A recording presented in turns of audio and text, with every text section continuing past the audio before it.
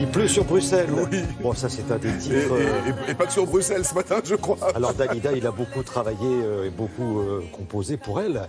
Énormément, c'est- la rencontre, on peut, on, on peut vraiment parler de la rencontre de sa vie, c'est monsieur Jeff Barnell. Alors, Jeff Barnell, vous ne le connaissez peut-être pas, mais vous savez qu'ici, nous, dans à Télématin, on aime bien de temps en temps mettre en lumière euh, des auteurs dont on voit juste souvent le nom sur, euh, et sur des pochettes de disques. Si je vous dis Demis Roussos, Nicole Rieu, Herbert Pagani, Jean-Jacques Lafont et Dalida, pour qui il a écrit pendant dix ans quasiment tous les, et tous les succès, et ben derrière tous ces artistes-là se cache un compositeur, Jeff Barnell, quelqu'un d'assez discret, qui ne parle pas beaucoup, qui n'aime pas trop euh, la chaleur des, caméras et des spots. Nous l'avons convaincu de nous ouvrir un petit peu, ben, un petit peu les- la porte et l'antre de sa création pour qu'il nous raconte ben, l'histoire de ses plus grands succès. Jeff Barnell, c'est parti.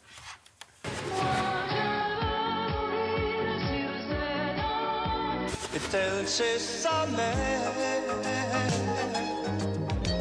Au clair de l'amitié Quand vous écrivez une petite chanson que vous écoutez chez vous parce que vous l'avez écrite et que vous allez en studio, que vous voyez la dimension qu'elle prend avec la voix de la vedette, c'est magique. Et bonjour à toi l'artiste, le grand auteur.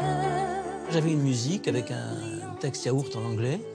Mon éditeur m'a dit on va envoyer ça à Pierre Delanoë, voir ce que ça va donner. Et Pierre a fait un texte qui ne me plaisait pas du tout, qui s'appelait Bonjour à tel artiste. Puis ils ont contacté Nicole Rieu, euh, qui a bien voulu l'écouter, l'enregistrer, et la chanson a été choisie pour représenter la France à l'Eurovision.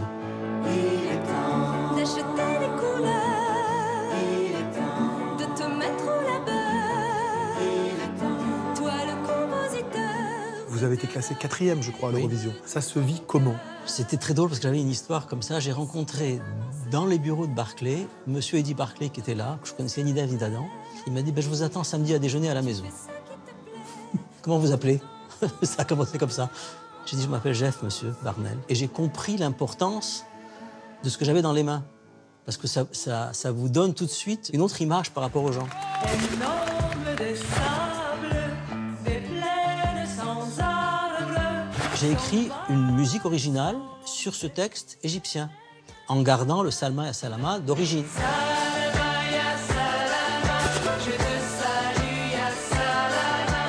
Et après, quand c'est devenu ce que c'est devenu, c'était la chanson que les radios ont passée quand Anwar et Sadat est arrivé en Israël.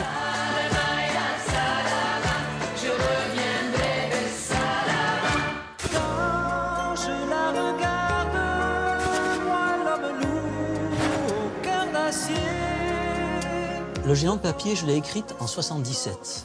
J'ai fait, je sais pas, peut-être 15 euh, rendez-vous avec des artistes très connus. Ouais, c'est bien, etc.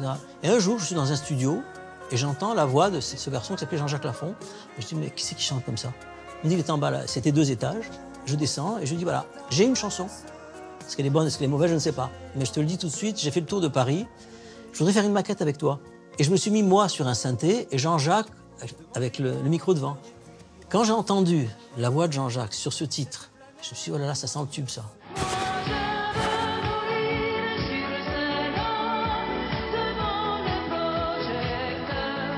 Mourir sur scène, c'est une histoire irréelle.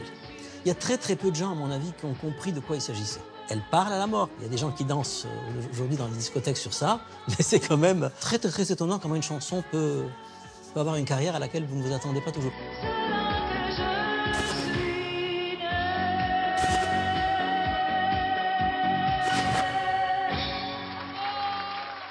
Ça, c'est un petit aperçu de la Quelques carrière tubes, de, de- quelques tubes parmi, euh, parmi tant d'autres. Les, les- les tubes euh, et les, plus les- flamboyants. Mais c'est vrai que c'est dingue le destin de- d'une chanson. C'est vrai que je pense qu'en boîte de nuit, les gens n'ont pas forcément compris que Dalida s'adressait à la mort et, et avec un texte de Michel Jouveau ô combien, ô combien bien, bien écrit. Alors, l'actualité de Jeff Barnell aujourd'hui, parce que ce monsieur est toujours en activité, c'est Charlie Boisseau. Charlie Boisseau, c'est un jeune artiste dont nous aurons certainement l'occasion de reparler dans Télématin. Il prépare son prochain album. C'est important pour lui. Il est en train de travailler là-dessus. Jeff, merci. Il nous, il- il nous a reçus ce matin. Encore une fois, c'est quelqu'un qui n'aime pas forcément se livrer.